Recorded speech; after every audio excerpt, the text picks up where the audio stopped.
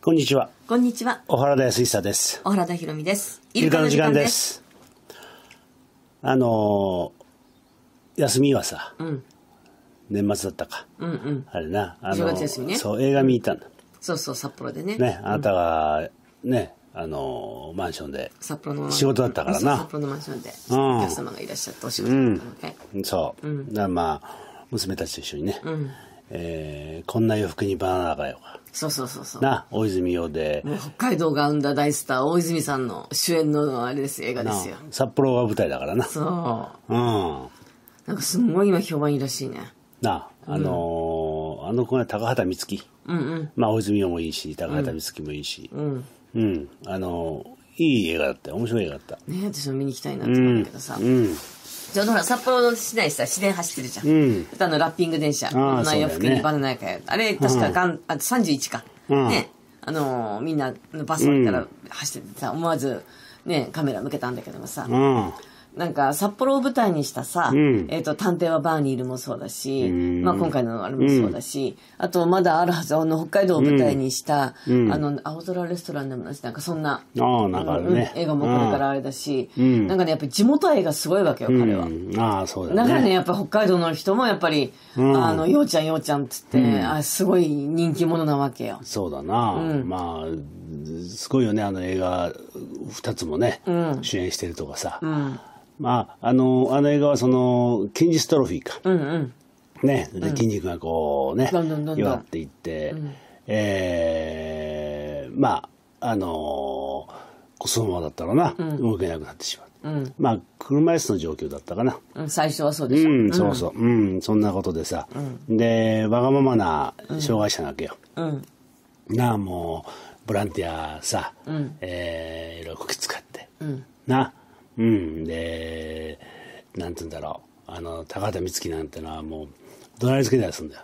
障害者はそんな偉いのか？とか言ってね。うん。うん、何様だお前はっていう感じでさ、うん。まあそれぐらいのあのだからこんな洋服にバナナからっていうのはもう冒頭出てくるんだけど、えーもう2時頃までさ、なんかいろいろ喋ってさ、ボランティアも寝れないの、その時腹減ったなってでバナナ食いてとか言い出した。な、そんなことでさその高田充希がこうバナナ探しに走り回るわけだ、なそんなことなんだけどさ、なのでまあ本当にほろりとさせられるところもたくさんあってね。そうなんだろうね。うん。だからまあ、あのーまあ、わがままっていう、まあね、一括りにしてしまうとあれだけど、えーその捉え方よな。うん。うん、まあ、わがまま言う側もそうだし、言われる側もそうなんだけど、うん。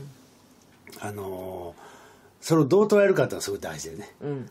が、それはさ、すべてじゃん。背景じゃん。例えばさ、あの、まあ、今、うん、ちょっと例に挙げるのかどうかわかんないけども、そのスポーツの監督がさ、うんしごくじゃん。うんもう今はすごい虐待って言われるけれども、うんね、あの、愛情があるうん。怒鳴り方ならうん OK なのか、うんそれともやっぱり怒鳴ってはいけないのかとかさ、うんそれ、すごいやっぱり今監督さんたちも苦悩してると思うんだよね。そうだよね。だからさ、あのーまあ、俺よく本当に思うのはさ、やっぱり人に迷惑かけちゃいけませんっていうね。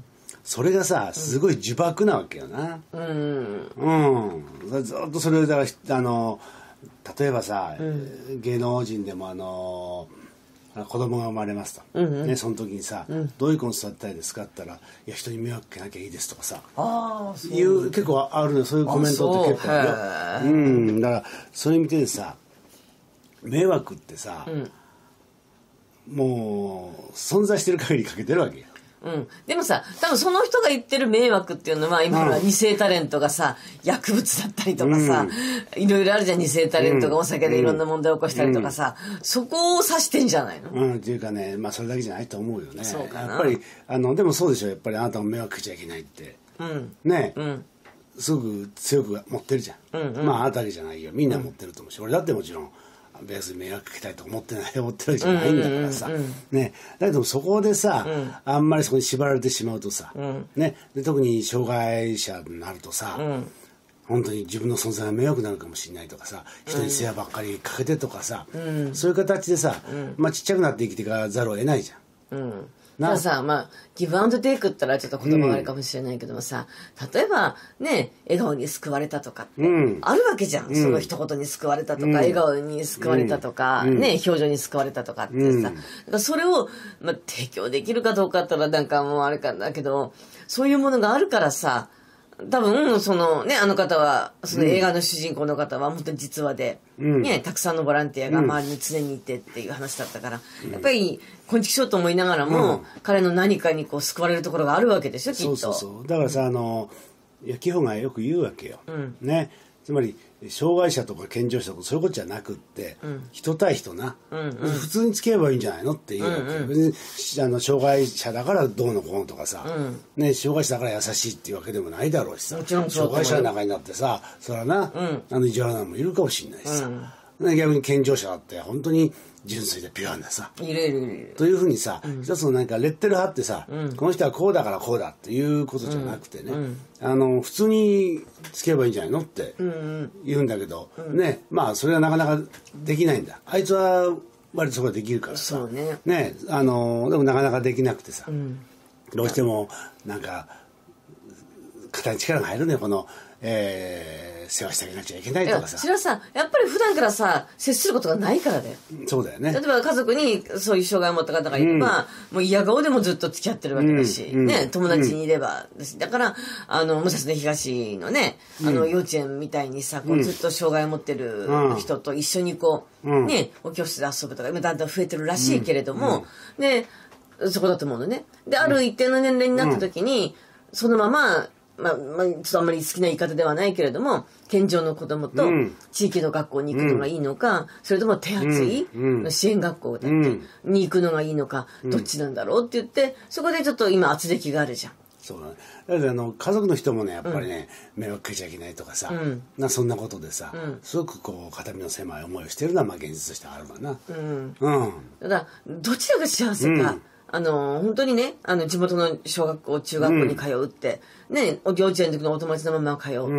それはすごくいいけども、で、中には、例えば、武蔵野東の場合だったらさ、あの、私立だから設備が整ってるけれども、なかなか公立の学校でさ、例えば車椅子で行こうと思っても、エレベーターがないとか、なんとかがないとか、バリアフリーじゃないとかっていう、そういうのがあって、まあ、できれば本当にどんどんどんどんそういうバリアフリーになっていけば一番いいけども、なっていないところに無理やり行くのがいいのかどうかっていうのが今一番あれなんだよね。そうだよだってまあそのさ、えー世の中にはいろんな人がいる、ね。まあ畑なんかでもそうじゃん。いろんな草があったりさ、ね、いろんなのがあると、ね、そういう中で、えー作物ができたりするわけじゃん、ね、だからそれをきれいに雑草を取って作物だけっていう、そういうふうなこう農業がね、今は中心になってるけど、だけどそれ学校もそうさ、なあのいろんな人がいてもいいんだけど、まああのもうなんていうこう限られた、ね条件の子だけがいるような学校になってる、例のほらなんだっけ児童相談所か。そう、南児童支援施設か。南青山のな、うんうんうんあそこで問題になってどうなったか分かんないけど、そういうふうな排除の動きとかね。そうそうそういうようなことでさ、やっぱり異質なものを排除していこうというものがあるわけでしょ、だからあのえー障害者も一緒に勉強するような中でさ、あの本当にじ勉強はね、いろんな形でちょっと、えー、トントントンと進んでいかないかもしれないけれどでもそこから得られるものって多いと思うんだよね。それが大きいでしょ、だから、そっちの方が実は大きかったり本当はね。例えば教科書が予定のところよりも1ページ少ない、少なく今日は進むかもしれないけども、その方がいることによって子供たちの心がほんわかすればさ、もう倍も3倍もの授業になるわけだけど、だから結局、あんたのバリアフリーって言うけど、うん。建物とか施設のバリアフリーよりは心のバリアフリーってよく言われるでしょ、障害者の方が。一番感じるのは。そうそう。だから対応してませんってうん張り紙を見ると悲しくなるって。そうだよね。何をこう求めるかっていうかさ、まあ勉強できることを求めるのか、あるいは本当に人間力を高めていくことを求めていくのかね、そういうとこだと思うんだよね。うん。だからさこの人間力っていうものはさなんだろう数値で表しにくいからさ、学校の先生たちがさそれをゆったりとなんて評価する仕組みに今なってないからね、単純にこうテストでさ。そうだよな、うん、だから先生方の余裕を取り戻してあげないと、なかなか学校進まないと思うわけ。そう。で結局なああの今の政治とか官僚の問題とかさ、ね、ずっともうここ何年も言われてるよね。散々あるわけでしょ、だからああいったのもやっぱりこう選別された人たちがさ、ね、選別された中でエリート中のエリートだからね。やってるからね、だから弱者の気持ちもわからないし。わからないと。